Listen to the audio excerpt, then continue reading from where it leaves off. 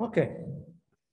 So last time, just as, as a recap, so last lesson, we we looked at uh, we looked at uh, manipulating data, layouts, and we saw how we can take advantage of layouts uh, in order to get them, and we even looked at how to merge and to use effectively layout with transitions. Okay, then we left open uh, how to make our visualization interactive, okay? Here we have, for example, uh, a chart uh, that uh, represent what we are able to do now. So we are able to create a complex chart using very different layout, but those charts are completely static. And while, if we look at it, for example, the, the chart in itself tells us something um, you know, this is a chart about the trend of the debt, uh, the revenue and the deficit in the United States for uh, several uh, office of different presidents in the last uh, pretty much 20 years. Uh, so while it already us to, to make some idea on how these things go, is going, maybe the, the raising of the debt, uh, while the revenue tend to, to, to, to to at a much uh, lower, uh, lower speed. Uh, eventually, it could not be enough. And it could not be enough because it doesn't allow us to conduct a very specific analysis. For example, we, can, we, we, could be interested in focusing on this area that probably is the only area where the revenue uh, somehow surpassed the the, the debt and, eventually make uh, make a surplus okay? Something really unusual into the public administration. Nonetheless we cannot in a static view like this this one no zooming no panning no no interactive means we can just imagine for example the extent of it or we have difficulties in clearly understanding how much it could be quantitatively given the the very narrow space in which it is present. For these reasons, uh, modern visual analytics and InfoVis uh, require the visualization to be interactive in order to allow the user to, to focus on uh, sub areas of interest, on interesting part of a uh, general visualization of, in which not all the part is important and eventually more generally even to steer the analysis. So today we start looking at adding another arrow into our visual analytics cycle that is the part that allows us to interact with, a visualization. And we look at it at, with respect to what D3 allows us to do. So D3, in this sense, allows us to do very, very general things that are motivated by the uh, interactors and event types defined by the W3C uh, organization, okay? A full list of them in terms of all the possible events that exist can be found at this link. And uh, pretty much for each of them, uh, we can define, we can define an interactor indeed. Uh, Normally, the very more general one are the click, mouse over, mouse down, and keystrokes that are, you know, common standard for for um, uh, laptop or desktop-based application. Uh, but uh, the, the, the modern uh, range of devices allow even us to specify um, specific behavior, for example, for touch screens uh, of different sizes depending if you are on the mobile, mobile domain or in the tablet uh, domain, gestures were, were available, and more broadly, capabilities that are maybe specific to single devices capabilities. So for us, what is important is that for, from the point of view of uh, defining them, uh, an interaction is very simple to define in D3. An interaction must be declared always on a selection with the on uh, instruction, and then it takes uh, the event type name so the event to which we want the interaction to respond when captured, and eventually a listener, so a function that will, that will get invoked after the event has been recognized and captured, okay? Additionally, as another, uh, as another optional parameter, there could be very specific way of capturing, capturing the, the event. So uh, this instruction is uh, must be created at design time. It means that it will manage an event that does not happen in the moment in which uh, the instruction is encountered, but they can be instead uh, uh, encountered zero or many times unpredictably uh, during the execution of the code, depending clearly on what kind of event got triggered by the user, okay, interacting with the devices that uh, she has she has attended. Uh, for this reason, uh, we need to remember that uh, the listener must be wrote as a um, callback function that will get invoked at the moment in which the, the, the event is captured. And this has implication, like we saw at the beginning of this mini course, with respect to usually having to construct dual interactors that recognizes uh, complementary event in order to not leave the visualization in an inconsistent way just by the invocation of one of the of the listener and more generally uh, to remember that that code could be never invoked or could be invoked an arbitrarily number of times. Uh, inside the listener, normally four main data are uh, important. I, I, remember that we listen, we will call the callback function essentially, okay? So the function that will be invoked when the event is recognized, so it's captured by the browser. Two of them already we already know, the datum that comes with the interacted element of the visualization and the index still of the interacted element in the visualization. So in our initial example, they were circles. More generally, uh, they are visual elements that, on which we want to express an interactive behavior. Additionally, we have the, this, uh, uh, let's say, the, this uh, uh, object uh, that represent to us at any moment the reference to the visual element that has been uh, interacted with. Okay, so we are able to retrieve inside the callback function with this uh, object uh, the visual element that has been interacted. Maybe we want to change some of its properties to convey the, the active nature of the interaction, or maybe we want to do other things, not important. This is a reference available to us.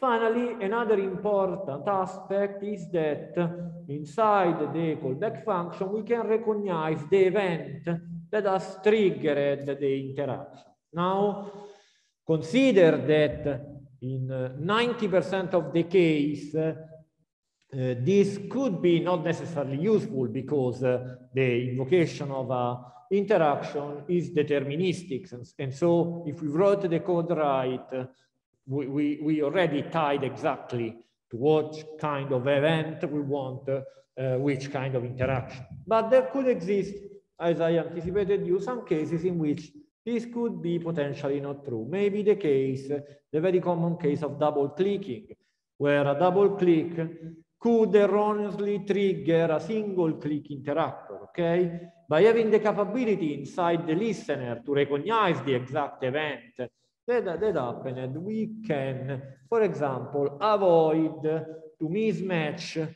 behaviors of a double click with respect to a single click. Uh, so normally the d3 dot event is used when we don't have, we could have case of ambiguity into what triggered the kind of, that kind of interaction.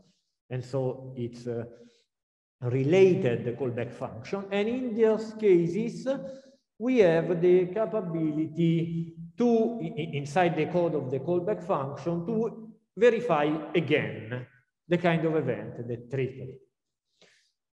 Normally, so uh, this, uh, this uh, uh, single instruction allows us to attach to an event a callback function, okay? And eventually inside the corpus, the corpus of the callback function to define whatever we like.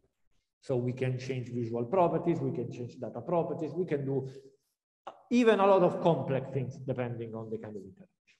Moreover, we need to remember that all the time uh, the interaction is attached to a, a, selection, usually a visual selection because it has no meaning to attach interactive behavior to a data selection that eventually would not have any ties with the uh, interactors defined by W3C.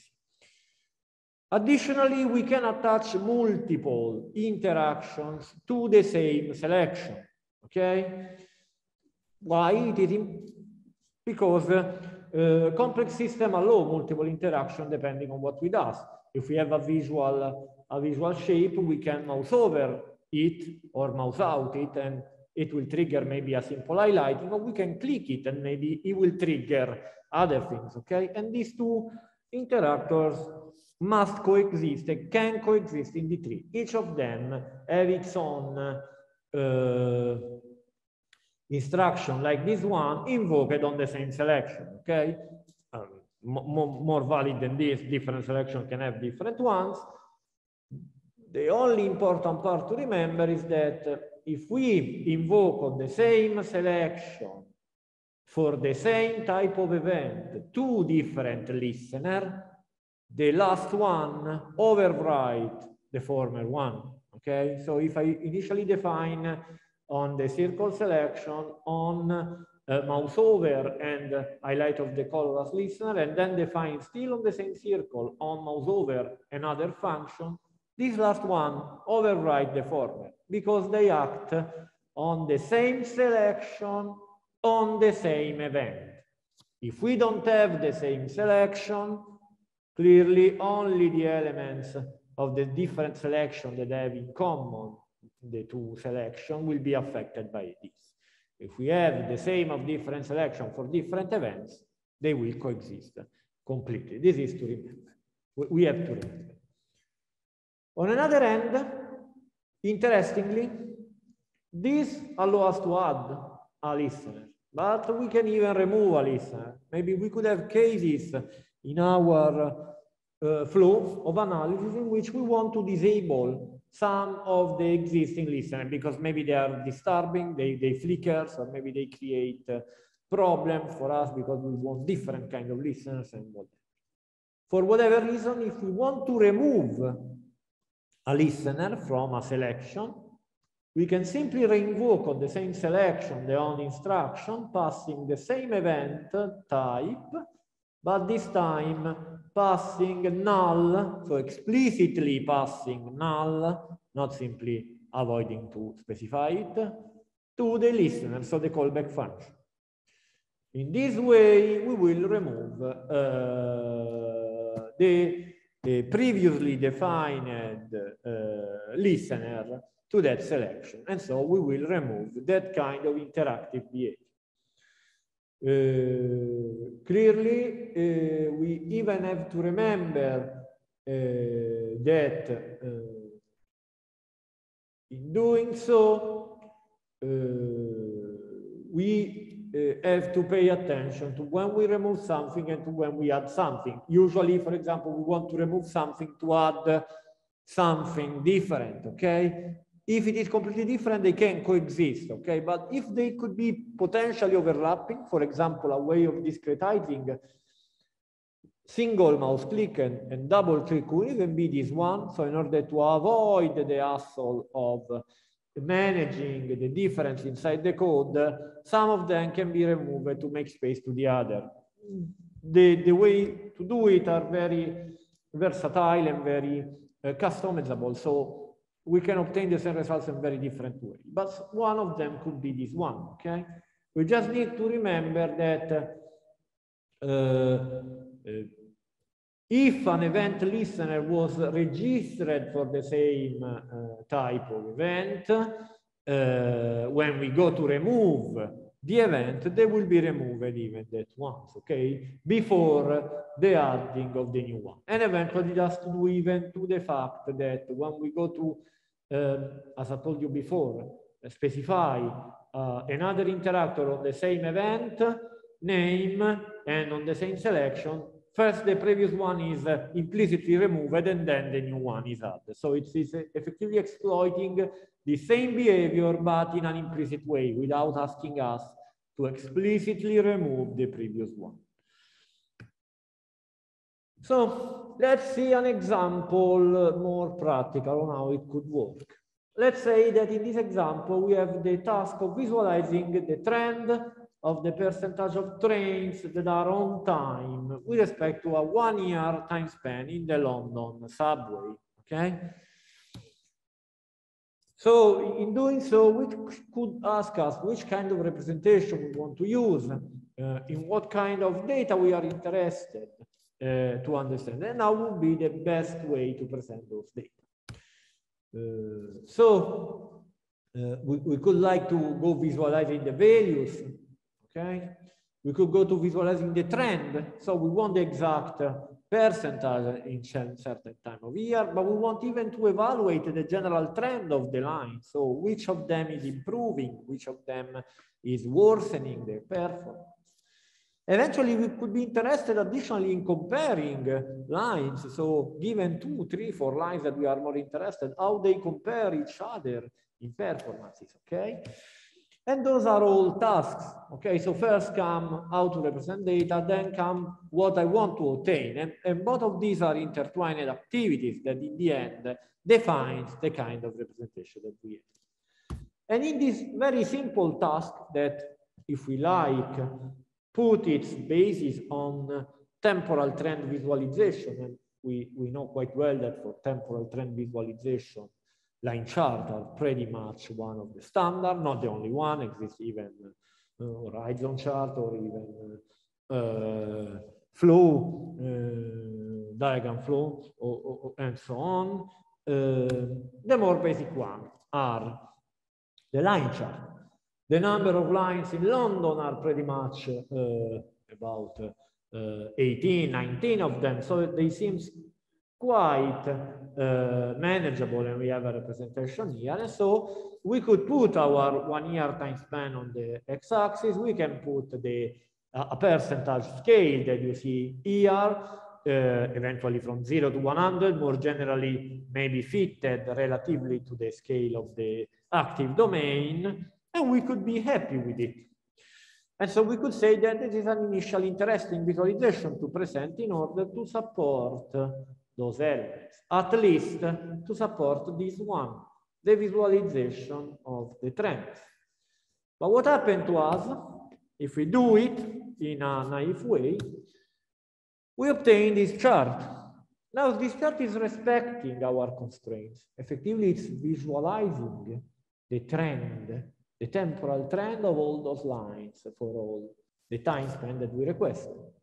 The only problem is that if we stay to what we learned up to today, it would be static. So, for example, I would have difficulties in understanding when I have clashing color, which line is which color. Or maybe even, even if I, as done here, I try to report the label of the line, some of them could be very overlapping, avoiding me to understand. Maybe here I cannot read anything. Who know what is the gray line? who know what is the blue line. Uh, I have two blue lines, so now it will be A or E, uh, and so on. Okay, so that, that's a difficulty. Second part, yeah, clearly I can say with respect to what I reported here, that I can try to compare. The, the, this line for sure is uh, one of the better, even if they are worsening their trends. And in this part, I can say this, but even just in the lower part, what is the worst one? I start to have a lot of cluttering of, of information. I, uh, I have difficulties here in start to following the trends themselves because they clash a lot or even here. And more generally, while I can look at the maximum and minimum performance, the very moment in which I have to compare a random couple or triples of it taken by some constraint that I have, it's very, it's very difficult. Additionally, I don't have quantitative information fully. Yeah, I can see the point that tells me in which part of the month the data are collected.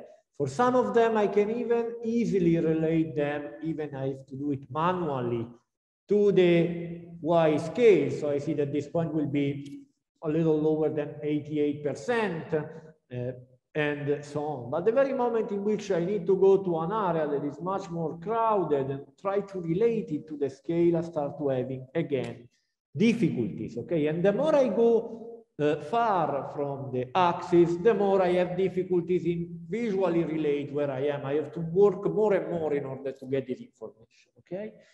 So we can say that with respect to what uh, we defined here, we are able to visualize trends in some way. We have difficulties in obtaining the exact values of these performances. I remember that those are performances with respect to efficiency of the line. So for how much of the time uh, the trains are on time with respect to the timetable. And finally, the compare task is very difficult to get apart from trivial comparison. Okay? This is exactly one of the uh, example in which even a contained, a very contained number of data on a well-defined set of elements, not so big, with well-defined tasks on which we are interested, is very difficult to support statically. This chart statically, unfortunately, does not work, does not support uh, at all uh, the kind of analysis that we would like. For this reason, we can look instead uh, at a way to obtaining a much better representation of it. In order to look at it, we go checking it directly into the data in order to, uh, oh, sorry, in order to get uh, a more uh, correct, uh, give me a moment, I have to open it. I don't know why I don't have it here. Uh, a more correct way of uh, looking at this uh, at this chart. So in order to to to look at it, we go first looking at the uh, at the code itself. Give me a moment to open it. Okay, and here we have uh, the same example. Okay. Now, in the same example, it starts exactly like it is, and I think that this one is not present. But the very moment in which we start working with it, for example, going selecting element that we want to get, we start getting uh, on-demand browsing. Additionally, if I click again, I can remove the part of the chart that I don't like at all. So interestingly now, uh, eventually, let, let me check if we even have the, no, this one should be different. Uh, we, we could, maybe by definition at the beginning, we don't know what is good and what is wrong. We could have, this code is not here, unfortunately, start from the same situation that we had before, but we, do, we could even not start from it and said, start focusing on the kind of comparison that we want to do, okay, in order to get a better picture of how those elements are presented. Additionally, we see that every time we click this interactive legend, we even get uh, an incremental drawing of the trend that allow us to, to follow it and a final anchor that tell us what is the, uh, the line.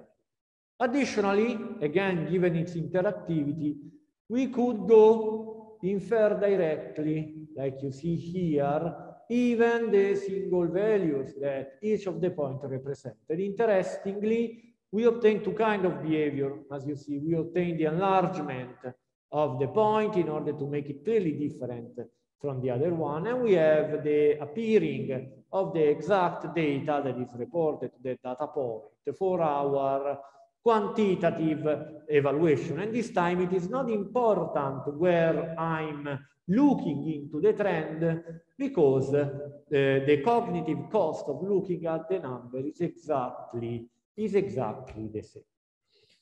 So if we go look at the code instead of just the, the element, we see that here we have four, four types of interactor. Okay, so how this behavior can be obtained quite easy by four time of four types of interactor. Let's look at them uh, into the code. So uh, the code is quite standard, and for a moment we will go looking directly into the own into the own uh, the own maybe it's too much into the point on because it's much easier to look with it. Exactly. So let's go look at how it works for each of them, okay? So first of all, let's focus for a moment on how we get the, the, the circle. So at some point we have the function that draw the time series, okay? We already know that it has to draw a very classic line chart. So we have all the code that govern a line in SVG. We have the classic appending of the area, the, the, the path for it in which we pass the invocation of the line to the data, very important. In this case, the data are passed from another part of the code as a parameter, and it depends on what we selected previously. We have the classic appending of a circle for each of the data point. As we see, the coordinate of the circle of the radius is exactly the time scale and the percent scale for each of them. And finally, we have the more important part that is uh, the capability to first draw the circle in an animated way. We saw it when we first select a line. You see that all the points incrementally appear animated. Uh, and then for us, very, very important, for example, we have a first uh, event managed that if you see is not an interactive event, okay? It's the classic end of an animation, okay? So new thing that we can see is that we can use the listener even for simply catching events that are not triggered by the user, but that can be triggered by the code, whatever. In this case, it is catched the standard end, uh, drawing of, of uh, of a circle, so the of the animation of the circle. Sorry, okay, and in this case we have a callback function of data and index that for each of them uh, uh, invoke a new function that add a label to the visual element. Okay, so the visual element already have added the label with their values, even if that are not visible at the beginning. More interestingly, immediately after, we go to select all the circles that we just created and we apply to them two uh, interactors, this time instead, instead related uh, to interactive events. So mouse over and mouse up. On mouse over, we go select the element and we go to enlarge the element. So we see we have a very simple transition that simply change the radius and magnify it. Clearly, this one is reverted into the uh, mouse, into the mouse out.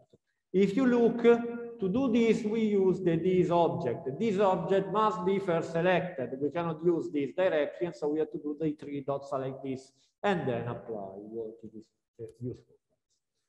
Additionally, quite interesting, we even saw that in the mouse out, we distinguish uh, the last case, so the last circle added with respect to all the others. Why? Because in our draw, the last circle drawn is the uh, the label of the line. So it is a special kind of circle that during its uh, its uh, during its management is treated differently from the, the other. Why? Because it has to add the label of the line to itself.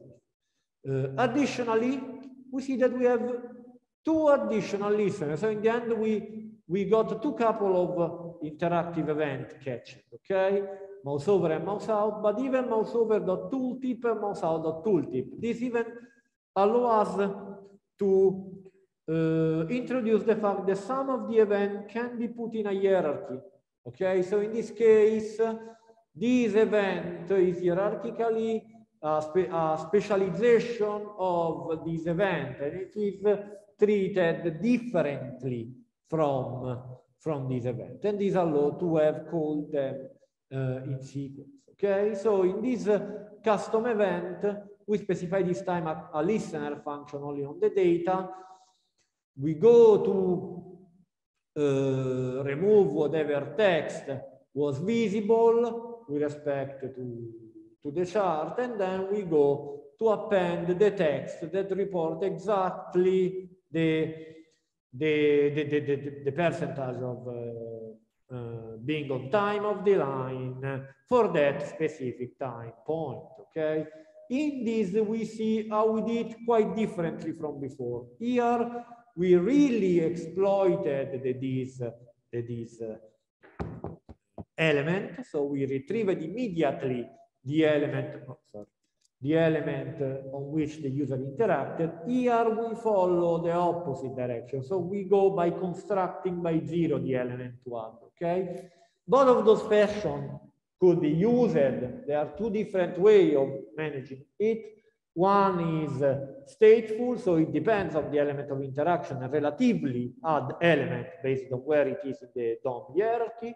In this case, instead, by correct selection of element, we go appending what is interesting. The difference, you can see it here, for example, okay? Why? Because in appending this element in a stateless way, we have to recompute the exact, the exact absolute uh, coordinate in which to point it. And to do this, we again exploit the scales. On the other hand, if we reasoned by the this element, we could have worked by a, re a relative change of the coordinate of the this element by simply specifying the offset with respect to it.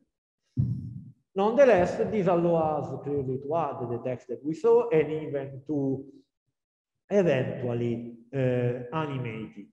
Uh, on the other end, uh, into the mouse out, we have the, the opposite, okay? So we have that with another animation, we go reselecting the line interested in which we interacted. Uh, we apply a transition. We first, interestingly, uh, suppress the, the element just visually. As you can see, we first bring the opacity of the element to zero and we uh, apply a, a, very slight translation. So we can look it here. When it compares just very fast, but if we took it out, we see how the how the labels start moving toward the top left corner and losing opacity in between. When instead, when it get visualized, it is already immediately positioned where it must be. Okay, so those two are not effectively removal of the element, but are visual way to easing the so uh, visually the removal of the element. And just at the end, after having done this, we go by removing it because we don't need we don't need it anymore. Eventually, here we have even other kind of uh, interaction. Okay, that is exactly this one. So we have all elements called a dot key line that eventually is a class. We can go see here that for all the line of the method that are represented in the legend, because this is uh, the part important, we apply to them a class. And for all of those elements, so all of the legend elements of the that represent the line, we go to specify another interaction that on click call this simple function get time series, which can go looking at what this function does. This function is quite clear. First of all, it retrieves from the data the id line that is very interested for us. Why? Because when we click on one of them, we have to know which line we selected. And so we previously attached to each of these interactive legend element the corresponding line ID field of the line. So line one, line two, line seven, and so on. After we have done it, we go first checking if already exists drawed into the main area of the chart a line. Okay, why? Because we are not guaranteed that the line is there. Maybe the line is not there and so we have to draw it, or maybe the line is already there and we have to remove it because we saw that by clicking the first time the line gets drawn and by clicking again, so the same interaction, the line is removed. And this is managed here with this very simple toggle uh, logic. So we try to look by looking at the specific ID that is dynamically constructed as the symbol of the ID and the name of the line. And we have to remember that somewhere when we go drawing the line, we will see later this ID is effectively associated to them, otherwise we don't have a way to fastly retrieve it. We are able to understand if it is drawn. So we, we obtain its reference by selecting it and if it is not null, uh, it means that the line is drawn. So we simply go removing it. Instead, if TS uh, have a null pointer, it means that the line is not drawn. And for this reason, we go simply apply a very fast uh, retrieval of the data, because the data is again into an external file, then this code will be available for you to play with. Uh, but oh no, maybe it's already available to you because it's already been loaded into the uh, classroom. And uh, we go retrieving, we filter data by exactly the line ID that we like. So we retrieve just the time series for which the ID corresponding to the D dot line ID that is the exact ID of the line that we want to get. And finally, we invoke the drawing of the time series just on the filtered data. So interestingly, we are even reusing a function that is draw time series that instead is even used to draw the whole data at the beginning, okay? So this part takes all the data at the beginning and for all of it go drawing all the end. What is interesting for us for making things work is exactly this line. Okay, so in this line, for each of the time series that are reported eventually here, is always assigned their ID that, that we call a line ID. Okay, so the ID of the line. By, by matching the line, the line ID here and here, we are able to get a very easy coordination between the two, an interactive uh, behavior that allows us by simply clicking on one of it to uh, identify if the trend exists or not, and depending on it, if the trend must be drawn or not. On the other hand, while interesting, this code has even its problem. For example, here we never know if something is selected or not. The legend is always equal. So a very needed uh, extension would be that maybe if I select something, it gets strong hue color. If I deselect, it gets a little bit opaque in order to uh, in order to differentiate to me what is selected and what is not. But on the other hand, the interactive behavior of this example allows us this time to much better support uh, to much better support the uh, task that we put because right now we can visualize values wherever into the trend without problem. We can more versatilely visualize trends, not all of them, just the interesting one, uh, depending on what we like, or maybe even visualizing at the beginning all and then filtering them to what we are not interested. And eventually you can absolutely compare elements because I know we can reduce the element that uh, disturb us into this into this comparison, okay, and eventually allowing us to avoid to have cluttered information, okay, but simply to easily relate not only how they behave absolutely, but how they behave relatively. Okay, so for example, these two lines, we can clearly see that start very differently, and then the green line is still worse, but present some of a better improvement than the red line that instead stay stay completely or not completely sorry stay uh, averagely flat with respect to to to its behavior. So interaction, if managed right, and we saw pretty much the more important element of managing it right. So govern their invocation with their own with their own uh, instruction, specifying the kind of event we want to capture, where the event can be from interaction or can even be from uh, finishing of previous phases of rendering, uh, defining correctly the kind of listeners and callback function. So to, to uh, apply the behavior and in doing this, having way of linking element by some by some uh, key by some uh, um, let's say uh, unique uh, parameter that allow us to identify element. In this case the line id where the management of this has to be up to us.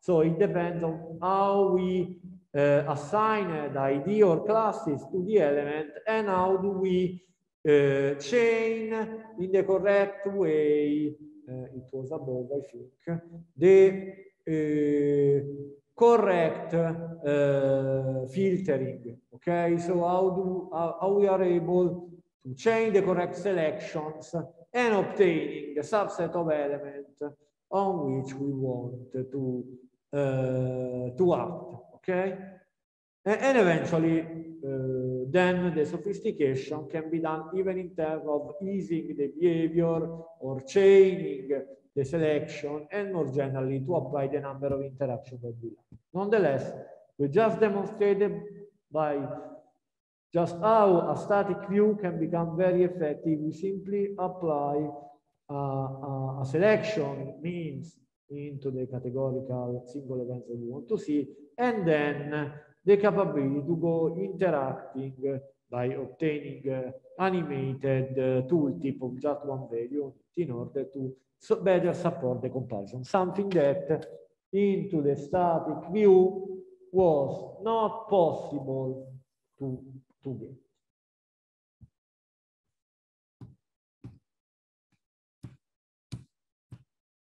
Interestingly, all the things that I told you are valid for what are called basic interactions. What are basic interactions?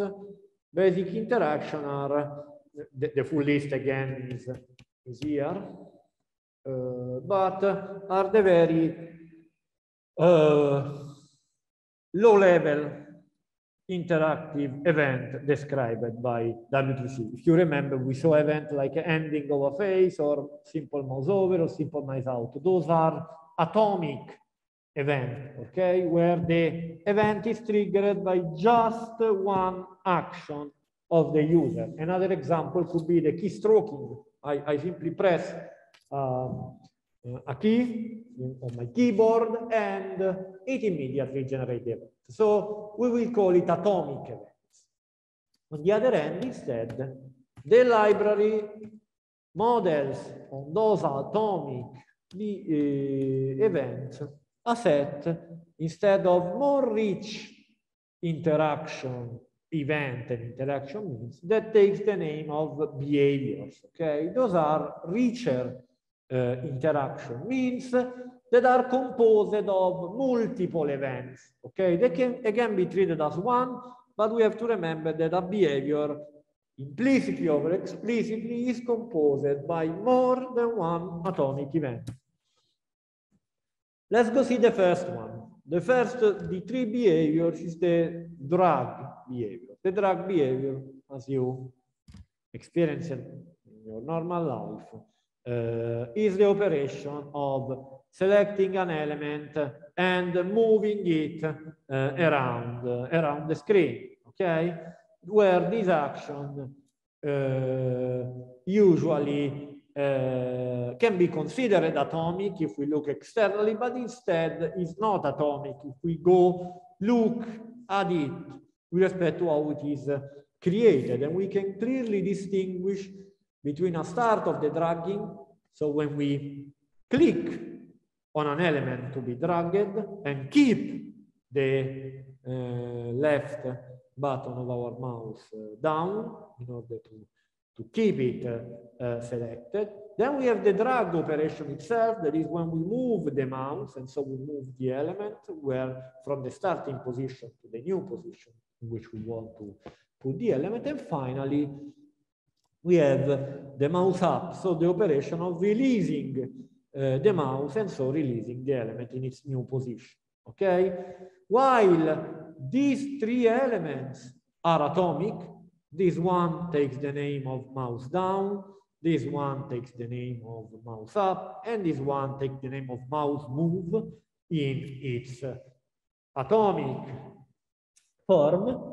The correct uh, sequence of those three elements done on an element, so on a visual element alone, to define the dragging behaviors, okay? So dragging behaviors is based on a sequence of all these elements or a subset of them.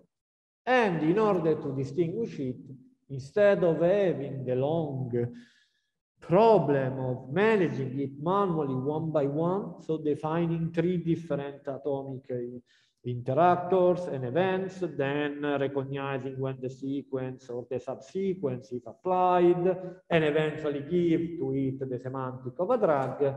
This is all simplified by the library by exposing us the code that do it that normally is based on the d3.drag function. Again, this is the function, it will work even as an object, and normally uh, it must be invoked uh, again on a selection. So we need to specify the element which we want to be possible to apply a drag operation. In doing it, we have the capability even to work on different phases. So I could choose all to, as it's represented here, simply define the whole drag behavior, not distinguishing any phases. Or maybe I can attach three different listeners that will manage the drag start, the drag itself, so just the moving operation, and the drag end in order to make it happen different things. And you see an example here, okay?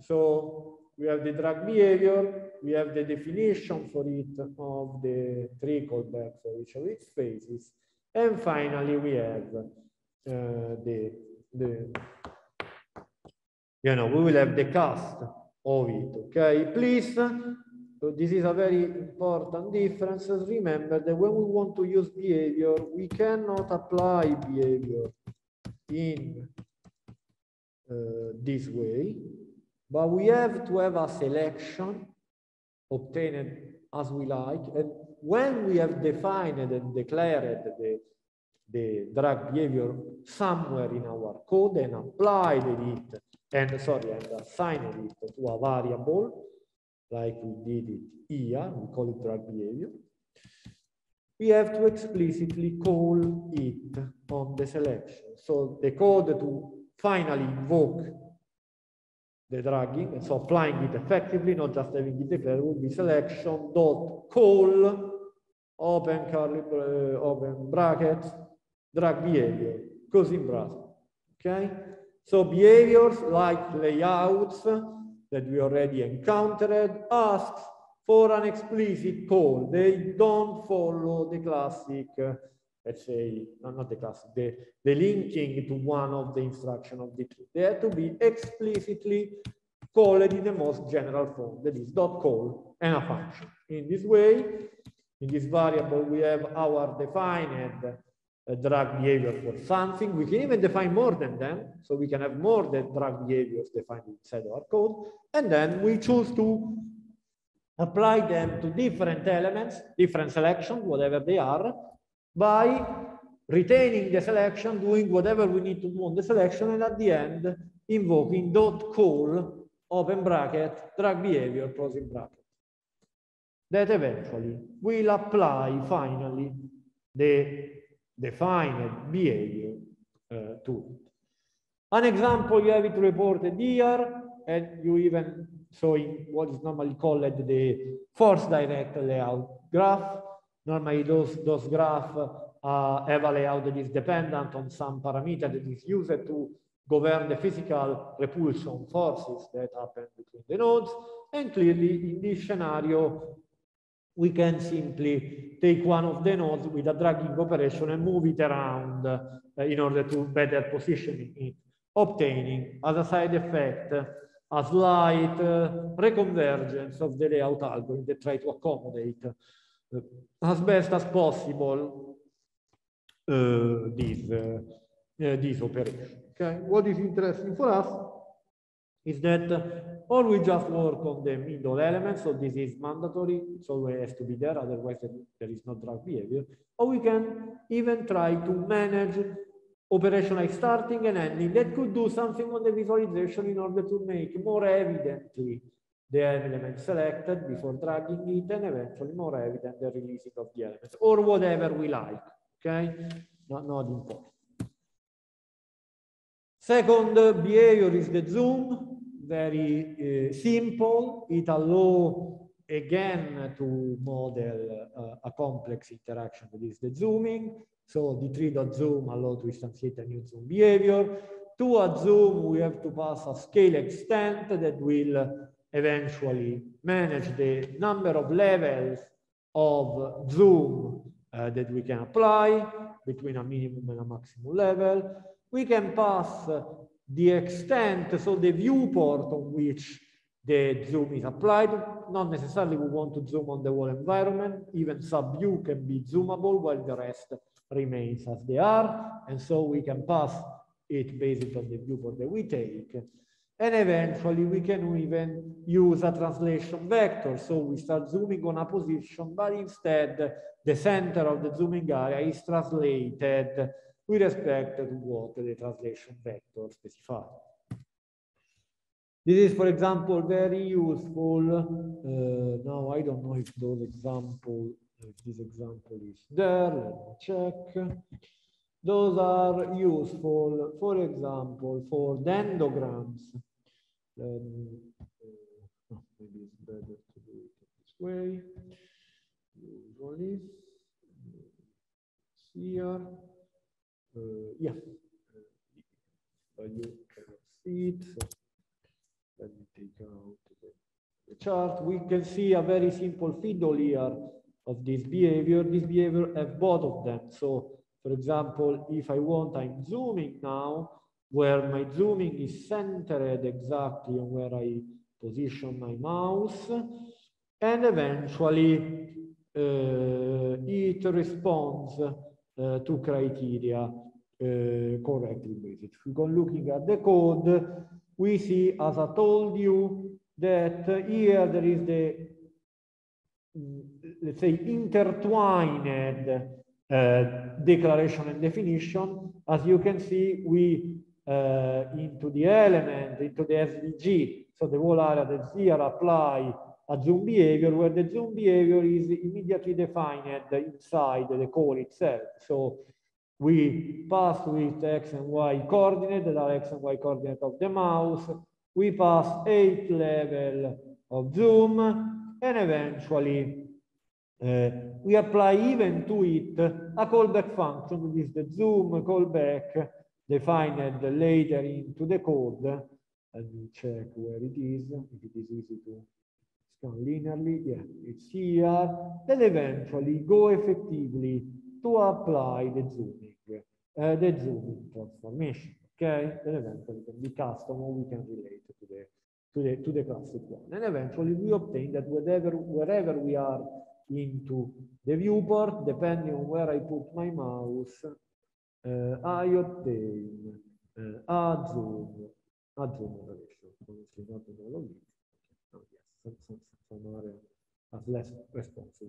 So you can play with this example to see how the zoom behavior is uh, uh, can be applied uh, to a visualization.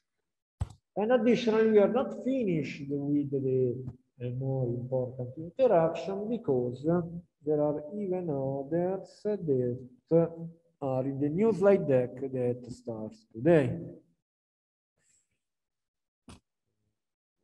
Okay. And that allows us to start uh, first completing uh, the interactions, okay? Uh, so we saw the, the zoom, we saw the, we saw the, the drag, and eventually we have a third one that is quite important, that is the brushing uh, operation, okay? Brushing operation is a dynamic specification of a one or two dimensional selected region. Sometimes it is even a three dimensional region, but they are more difficult to manage. That allows us to select an area with the brushing operation that can get eventually coordinated elsewhere. Okay? Uh, and this is a very complex behavior because it asks us, it has uh, the, the mouse down, it asks us to have a mouse move that this time is not used to dragging an element, but it is used to define the extent of the brushing window. And finally, when we release it, we expect something to happen, given that it normally used as a selection in, uh, in our visual environment. Again, instead of having to model all these things by ourselves, uh, D3 provide us the, the sub API needed to do it. So with the D3.brush, we create uh, by default a two-dimensional brush, while instead if we use the brush X or brush Y, we define the one-dimensional uh, brushing window that will all that will uh, allow the resizing of the window only on the uh, coordinate uh, specified, so only on the x and y axis. Uh, and eventually it will provide us all the SVG elements necessary to display this selection to the user. So, uh, for example, the actual window that get that get rendered dynamically uh, will be given to us for free by the library itself. On the other end, as we saw before, we have to pass an extent to the brush, so defining minimum and maximum which we can extend the window because uh, the brushing window cannot exceed the, the domain of the property or the properties if it is bidimensional in which we are defining it. And eventually we can uh, attach to it additional uh, event of which the very classic one are the brushing start, the brush operation itself, and the brushing. Very similar. This even allows us to tell this uh, tripole for the behaviors is standard. So the first and the last are always called start and end event. The end event, we even look at how it behaves in the previous interaction example, while the mid one is specific to the kind of behavior that we are using. So it takes the name the same name of the behavior on which it is, it is invoked. And you have an example here. Let me, let me check if we can briefly go looking at it. Uh, that should work.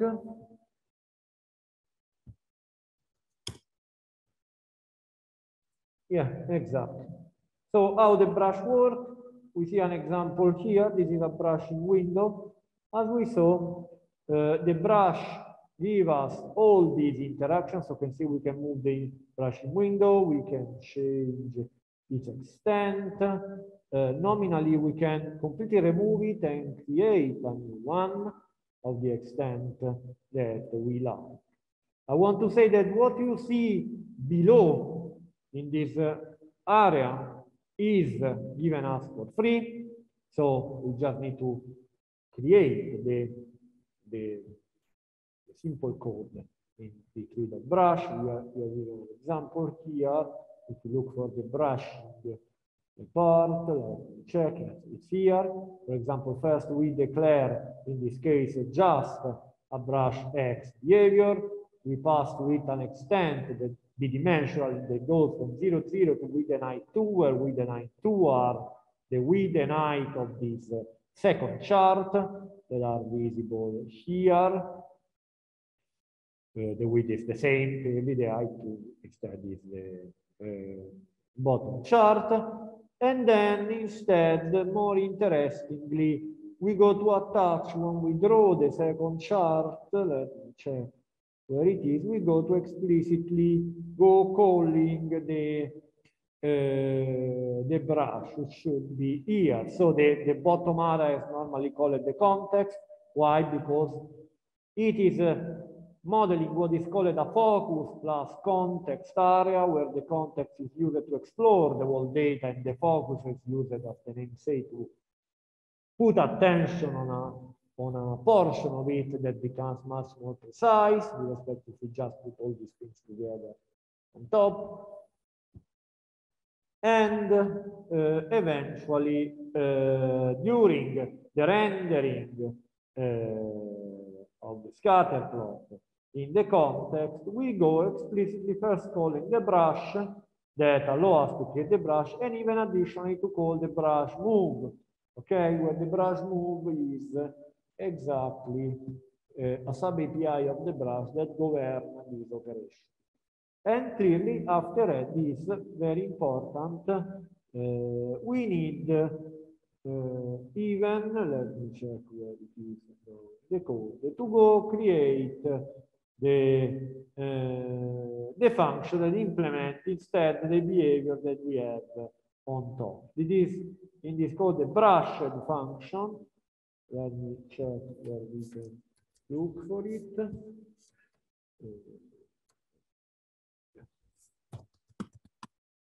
If we go looking on the brush, we see that in the, definition on the on brush face, we have the brush function. This is very important because it governs what eventually will happen. Okay, this is not part of the default behavior. This is part of our code. We see what is instructed here the D3 dot event of the of the interactor is used to retain the selection, where the selection interestingly will be done into the range of the context, so it will return the extent in pixel of the brushing area. This will be used to set a new domain in the, in the focus. You see, we go to set a new X domain and we pass to it what? The selection we obtained that is instead uh, invoked to a map operation to the uh, inverse of uh, its value. So what is exactly doing is getting the minimum and maximum values in pixel with respect to the X brushing area and obtaining the inverse value that are again in the domain. So the minimum and maximum domain value for the X that are here okay? and those one are used to define the new domain on the top area. So here, in fact, if you really look at what happens here in the bottom, if I move, you see how the domain, the time domain change accordingly to how do I do this. And this is the same behavior that if I create a new window, okay? So it responds with respect to the selection that the brush is doing. Finally, in this simple function, what we are doing is that we are repositioning all the elements that are included into this window. Pay attention here, when I create a new brush, I have the points are reposition and you see it, the more I change it, the more the points that are in the window get repositioned. Okay, and this is effectively managed by the classing CX and CY uh, setting method. And that simply will re reuse the new domain, the new scale, because the scale now has a new domain that is dependent on how much I brush, uh, to their new correct point. Finally, in order to, to make it happen what I demonstrated you, the x-axis is redrawn any moment. And this helps us, as already showed you, to get uh, the redrawing fast of the x-axis. Okay. I want to stress that this code is up to us to write. Okay. This is quite a standard way to do it for this kind of coordination, but it is up to us. While instead all the other part of the code that is used as much standard just a parameterization of the behavior, indicate the brush, and then the explicit call uh, of the brush event, in this case, two of them, the brush and the brush move on the correct selection. In this case, it's done on the whole context area. Uh, so this part for free, this movement for free, the creation of this window for free. On the other hand, all the coordination that happen on top, not for free, but very specific and dependent on what we want to have, make it happen. Okay, in this case, we want that the focus area clearly follow the selection.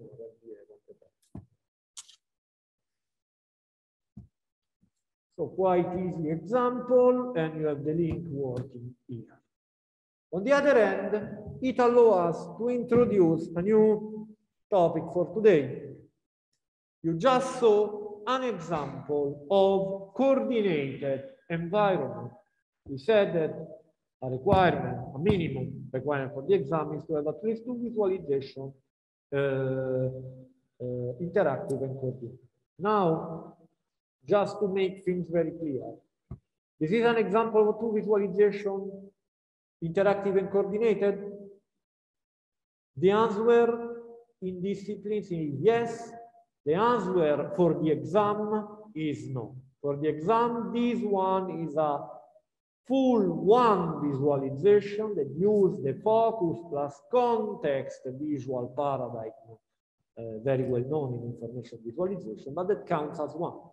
On the other hand, instead, syntactically, we can say that these are two different drawings that naturally does not come coordinated, and that with the use of, with the wisely use of the brushing mechanism, we get a coordination, a coordination that is unidirectional. So I interact just on one of them and I get a result on the other. On the other hand, if I try to interact something here, nothing happens. And I don't have a return coordination here from here. An example could be that I click points. Here I see clearly points. So I could change the color. And this one change the color of the points, the same points according. It is not there. Additionally, it is even an example that is not complete. See what happens if now I destroy the brush. I click here and I destroy the brush. I don't have any other brush here. But unfortunately, here there is still the focus that I selected before.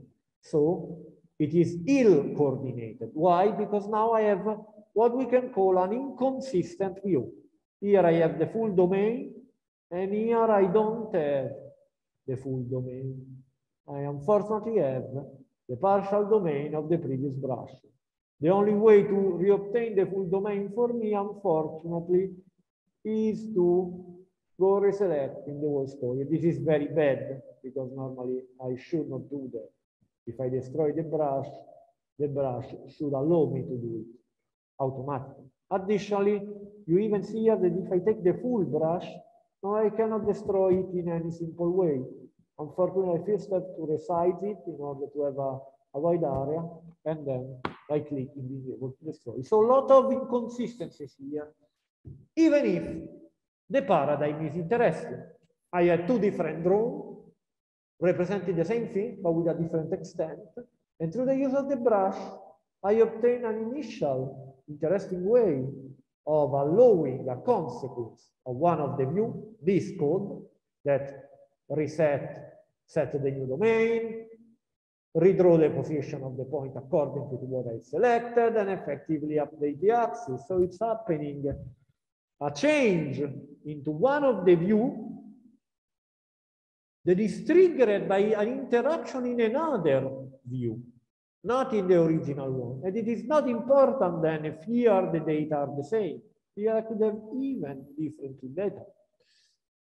And maybe this is a cross selection where I select something here and I get the result here.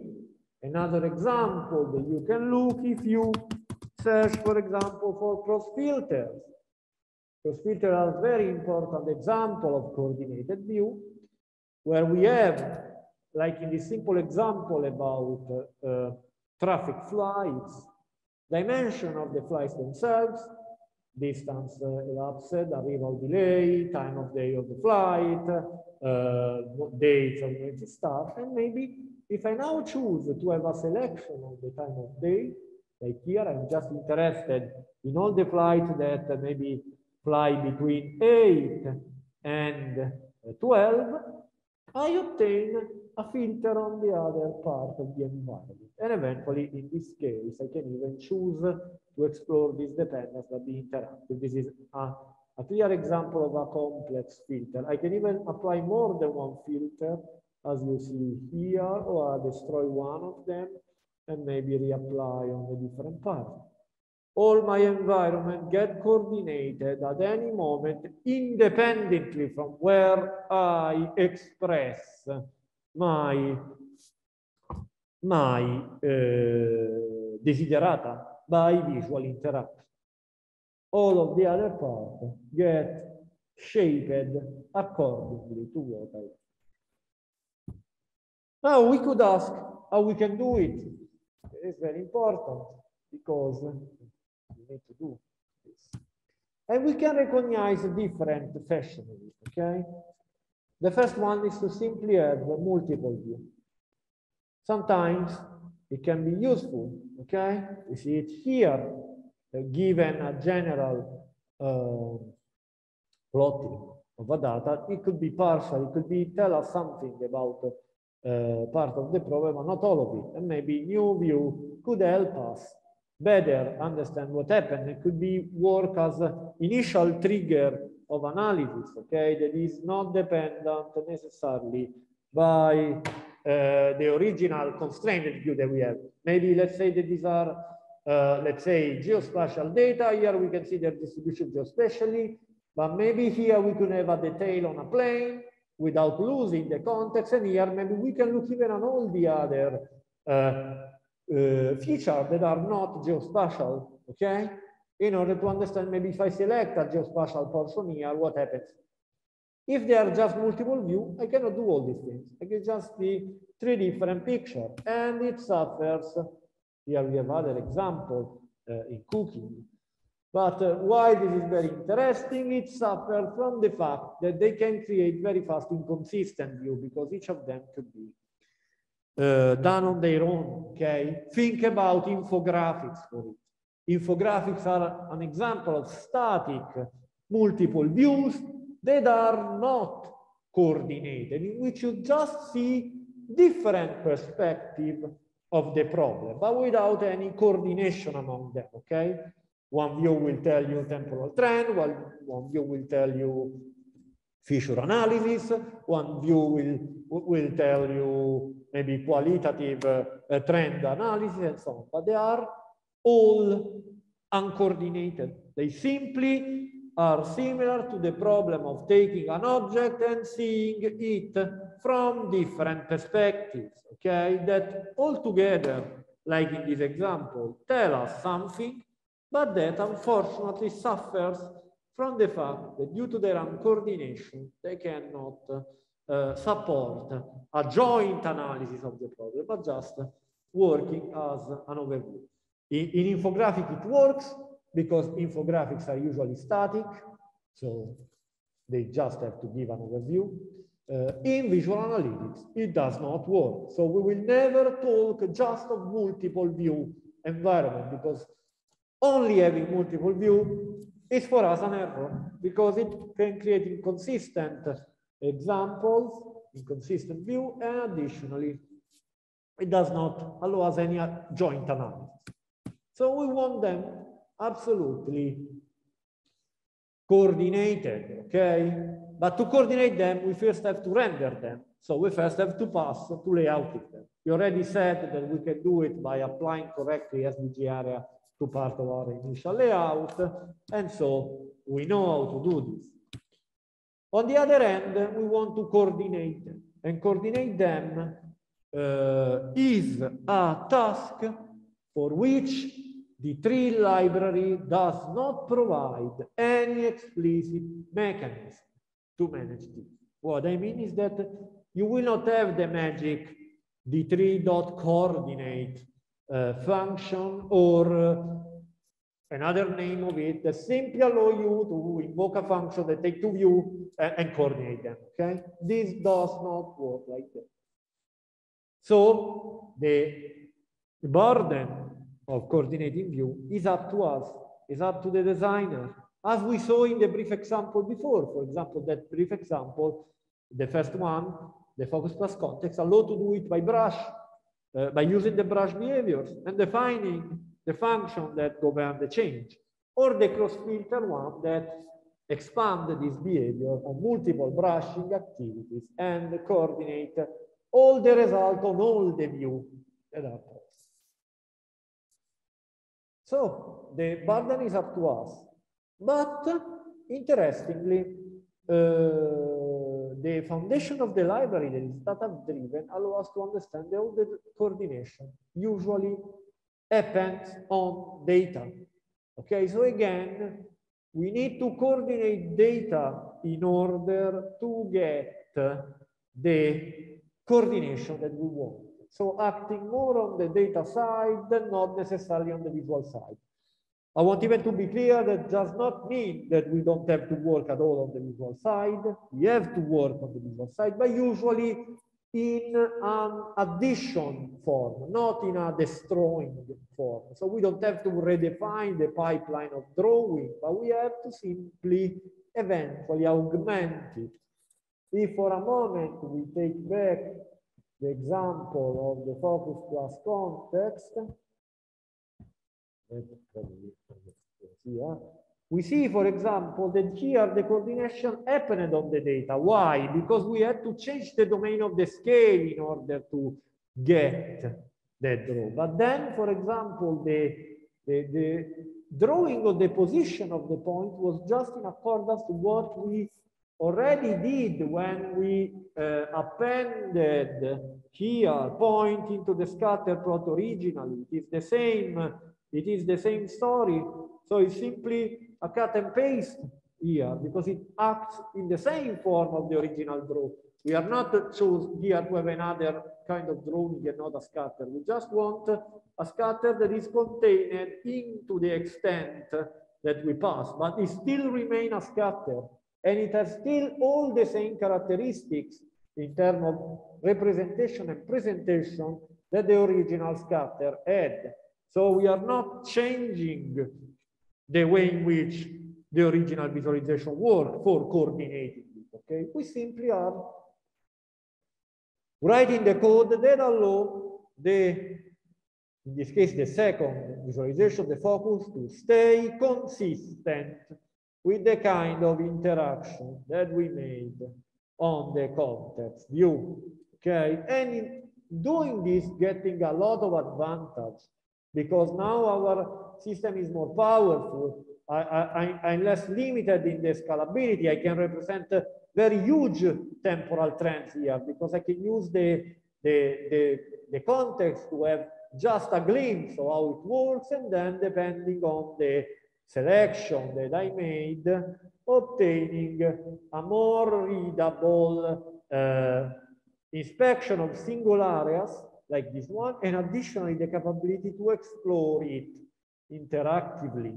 Okay, so to not be again limited by the visual space, maybe the, here I could have 1 million points that make just a barely visible trend that will be very overplotted if put here all together, but then I can start inspect them with much less cardinality, maybe even focusing just on areas that are interesting, and maybe this, this kind of changing trend or this kind of changing trend. Okay, so coordination is very effective, has to be managed by us. We don't have the magic that we have for other things like the layout, the behavior, the interaction, and so on. And act on data. So the first step of a, of a coordination activity uh, in accordance to how the library works uh, is based on the. Two main approaches can be followed for coordinating multiple views. And this has to do with how we design it, okay? The first one, the first approach is allow to build all the visualization, all the view on a same shared uh, vision of the data. Okay, we can call it data shared approach. Okay, so the environment uh, load at the beginning all the data that it needs and represent them in a certain data form, uh, whatever it is. Uh, if I think about Python, it could be a data frame, it could be a table, it could be whatever you like, but all the data are there and all the visualization got fed from those data.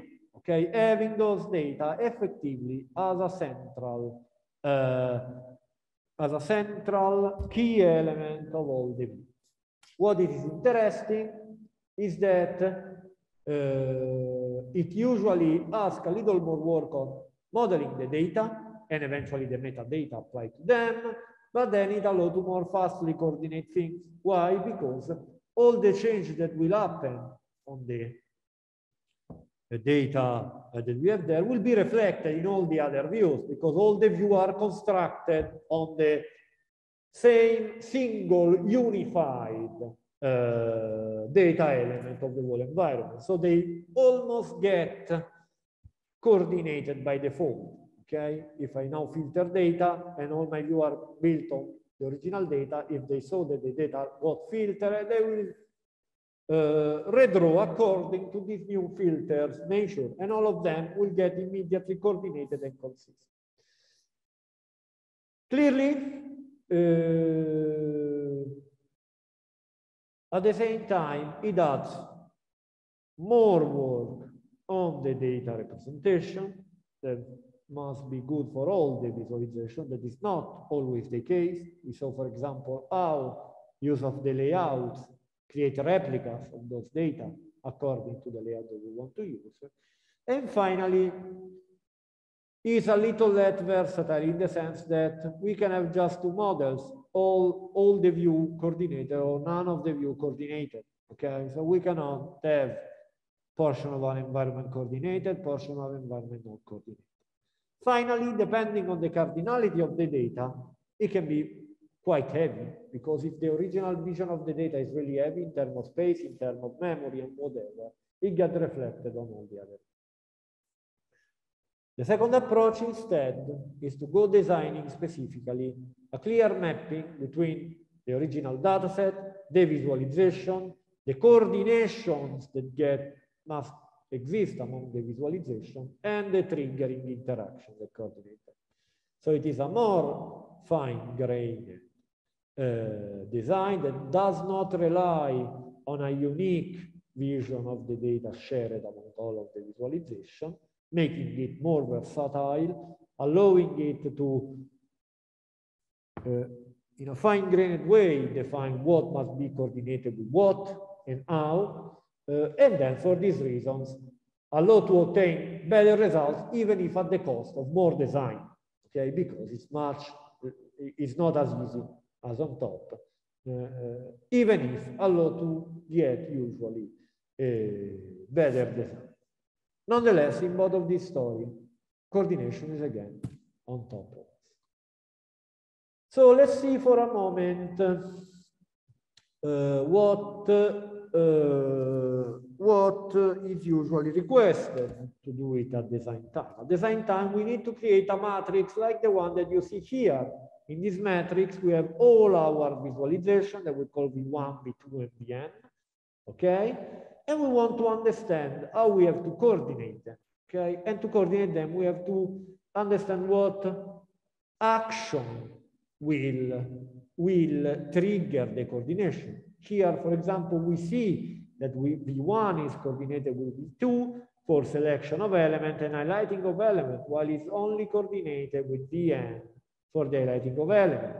On the other end, and the direction here is that uh, if a selection happens on V2, it's coordinated with V1.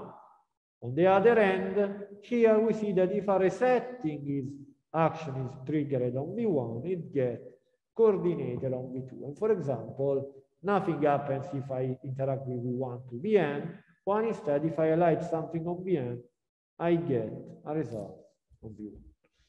So this matrix at three level, the interaction and the relation and the direction of the coordination that is not necessarily equal, okay?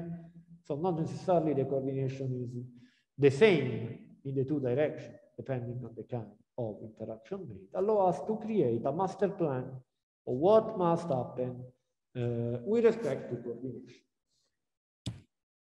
Let's go to a more concrete example. This is an environment that sh should have already been demonstrated, okay?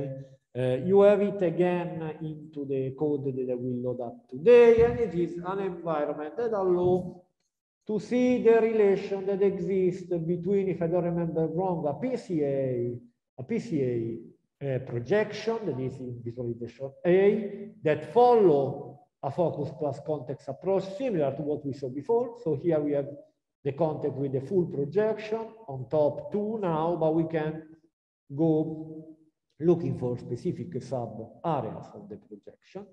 And on the bottom, instead, we have the representation of the same data set instead in its pure form, that is multidimensional, uh, using a parallel coordinate. So this effectively is composed of three view, but for the exam of two view, that is I plus B and C, that are coordinated among them.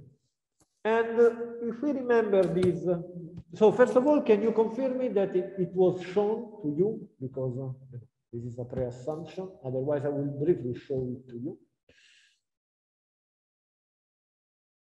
You can write in the chat if you already saw this environment demonstrated during uh, multidimensional uh, sorry, dimensionality reduction theoretical part. Uh, have it get demonstrated?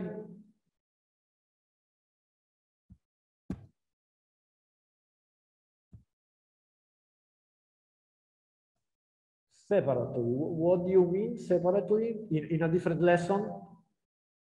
Uh, that, that's quite difficult to me to understand what separately means. Maybe you, you, nonetheless, you already saw it, right? Okay, no, they are separate. No, no, no, no, that's bad. Okay, perfect. So let's first go looking at how it works. Otherwise, uh, it will be very difficult to, to, to manage this. Give me a moment. You will have it into the into the code. I now uh, load up it. Uh, let me check. Maybe Okay. This is the environment. You should be able to see it. No, this one's not. So on top we have a PCA, on the bottom we have a parallel coordinate for the element. Again, if you remember what we made before, uh, okay, this one was a little bit worse. We are able to, to look at the whole context, looking for elements that are represented on top, but interestingly, this is not just limited to us because, for example, on top, we have the brushing capability to take an area and immediately select this area. You see, it works in the same way. And this time we saw even an effect in the second. We are effectively creating a relation of the same data items because this view and this view are representing the same data items. Here they are pointing to a PCA uh, dimensionality reduction algorithm uh, and the resulting scatter plot. And here we have the original uh, feature in the original domain represented as a parallel, as a parallel coordinate, okay? On the other end, uh, here is not present, okay, maybe it's a little, a little wrong. We could, we could probably do the, the same here. So to obtain a selection of the points that are inside a certain range of elements, it is missing as a coordination, see on top. Finally, uh, The points that are highlighted here, again, are not highlighted here. So we see, for example, in this example shows some part of the coordination. We can even see what happened here, for example, on the brush. We move and nothing happened, it just happened on the brush end. Even if uh, not all the time is good. For example, we can see that now, interestingly, we are looking at what happened in the relation if we put constraint from two different parts. We had some constraint here into the parallel. Let me maybe better show it. So if I simply just put a constraint here, I see them represented. But now maybe I could say that I'm just interested in points that have this dimension in alpha. And now if I retain the same selection as before, what I obtain is that I just obtain in the bottom part the selection of elements that are here but that are filtered by arrow. For example, if I now re-enlarge it, we see how we take more of them, okay? So interestingly, by coordinating this view, these two views that, let's say, are asymmetrically coordinated, this is not the best approach here, but nonetheless, at least in one direction, I'm able to take into account, for example, a selection that came out from spatial similarity into the uh, into the PCA, maybe for example trying to get just homogeneous and very similar elements, or even considering their nature, and the constraint that maybe I start putting into uh, the single feature. Try maybe to return elements that respond to both of them. So a quite interesting way to exploiting the different strengths of these two views that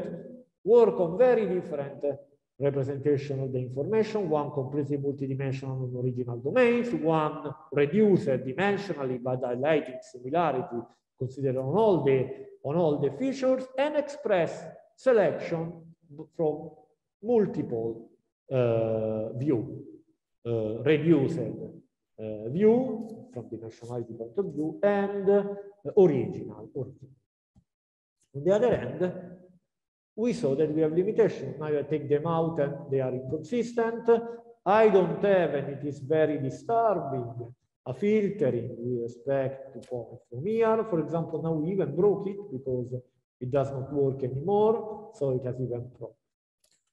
So it uh, show us potentiality, but it even show us what happens if we coordinate wrong. In this case, we have an inconsistent view. I have a selection of element here, nothing changed here. And a user that can now could believe that these and these are the exact same view where they are not now, because those constraints are not, are not reflected here. So we are creating again, unfortunately, inconsistent representation. What it asks to us? It asks to us, now that we saw the demo, to carefully conduct the design of coordination in the same way that I showed you before. Let's see how these got coordinated now. We have A, B, and C, A, B, and C. We already saw that where clearly a is the dimensionality reduction, B is the focus, B is the context, and C is the parallel coordinate, okay? What happens or what we would like to happen? We would like that if we highlight something on A, it gets reflected on C. This happened. We already saw before. Let me start. Highlighted, present. And this is an highlight. I'm not selecting anything into the parallel coordinates. All the elements are still visible, but this time I highlighted in red the element that respond uh, to this selection. Then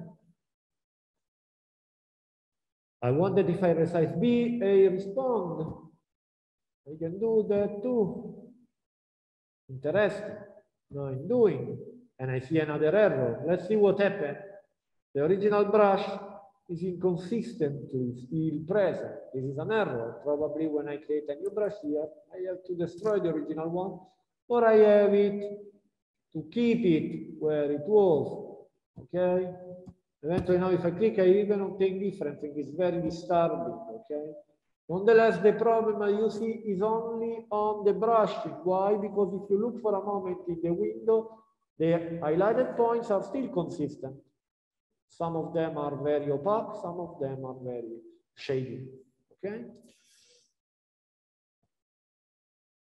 And we don't have any other. Is this the best choice? Absolutely not. But by working on what must happen on both directions, so looking this as an asymmetric matrix that connect the element based on their, on their behavior, we can design the kind of coordination that we want. After we have designed it, we need to go specifying the interaction that can create them. For example, here the interaction was a brushing that create, was done on A and create analyte on C. Or maybe the resizing again was a brushing given in this case, but other things could be possible. I could uh, click on element, maybe here clicking is, does not exist, but I could even have selected point by clicking them and having the light, so another way of obtaining it.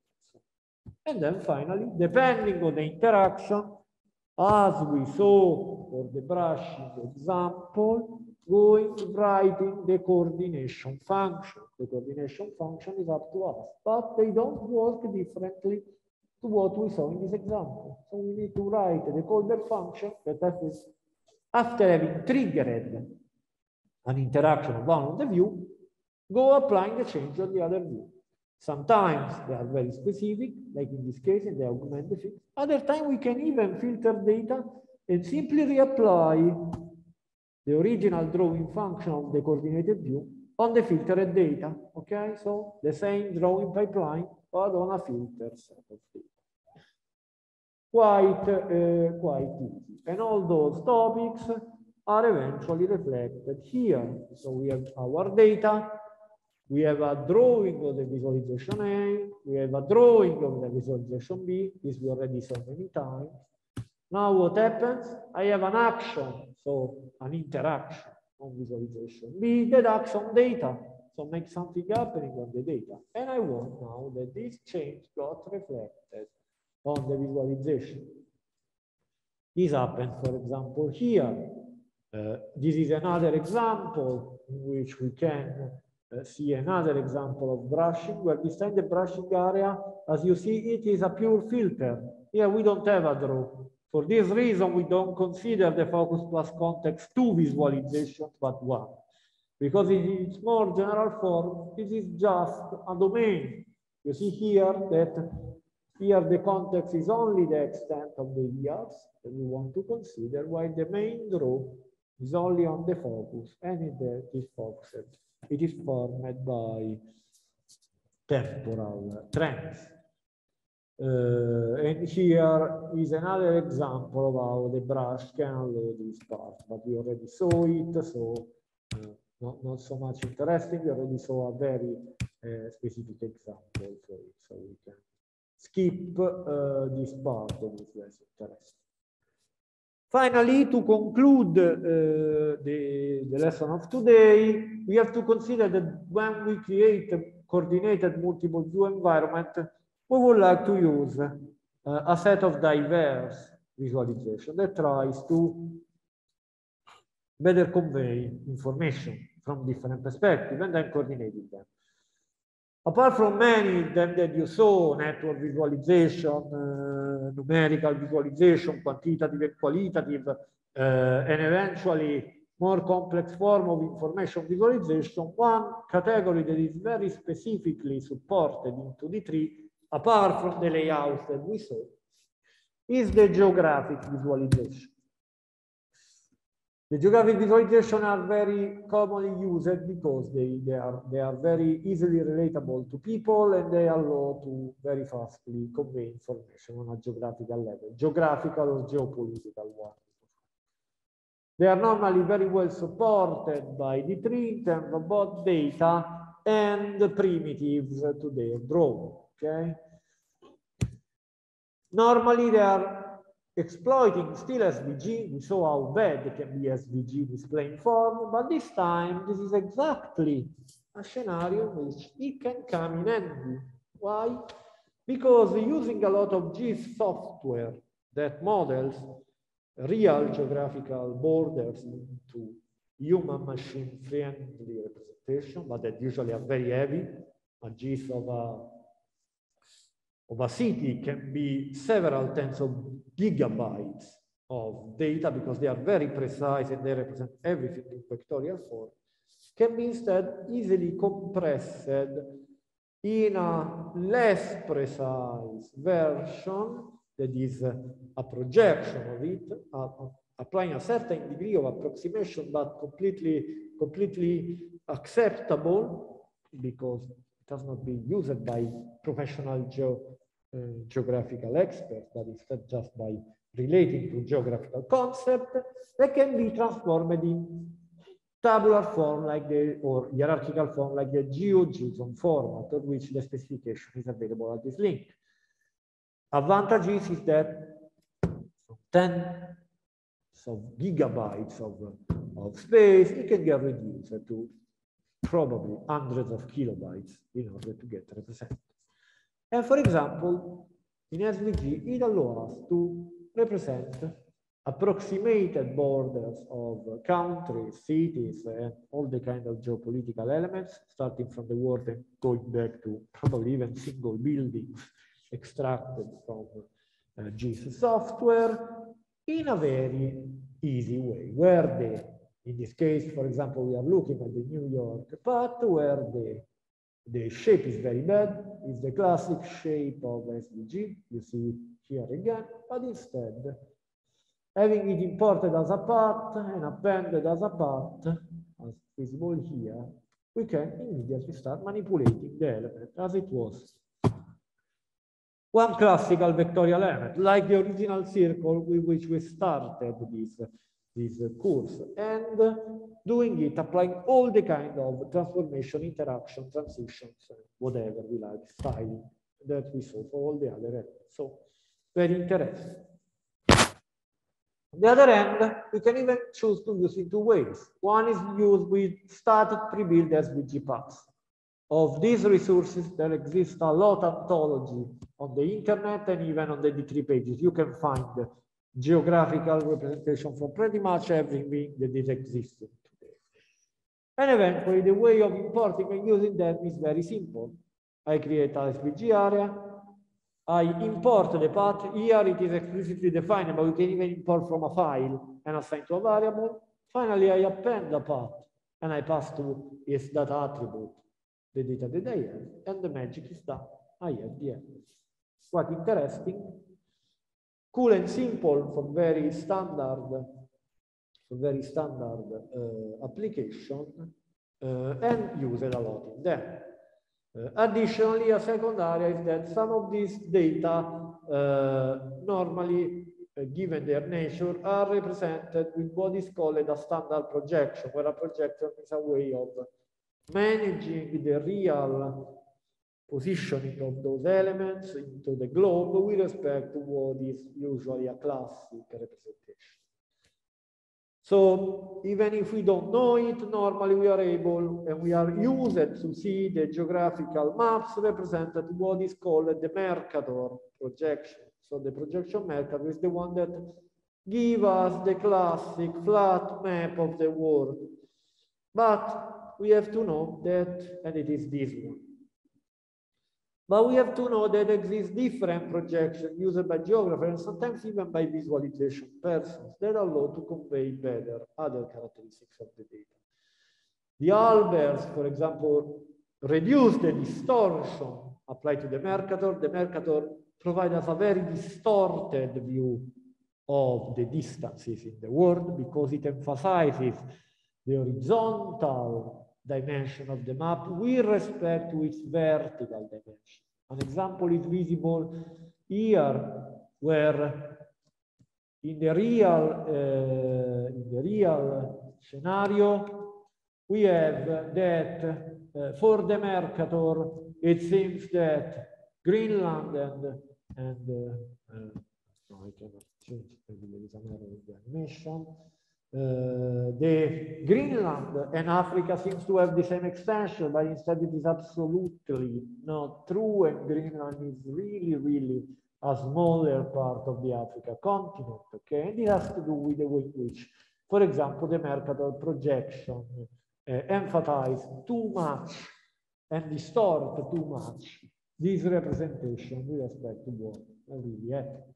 And for this reason exists different projection like the Albert one that try to retain a little the curvature uh, of the globe. And for example, the azimuthal that instead uh, create equidistant and equal area projection. And for example, retard much better the real extension of Greenland with respect, uh, with respect to the, to the Africa, to the Africa continent. For us, for people interested, you can look the detail even on the D3 page, but for us, it's just important to know that uh, based on the previous uh, example, if we don't specify anything, we will use the class Mercator one, while instead, if we have our data expressed in a different projection, or we want them expressed in a different projection, for us it's very easy. We can define a projection already defined in the D3.geo uh, set of functions. In this case, for example, we take the Albers USA.